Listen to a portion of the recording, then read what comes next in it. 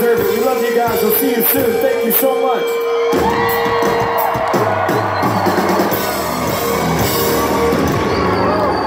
Peace out, Knoxville. It's been good.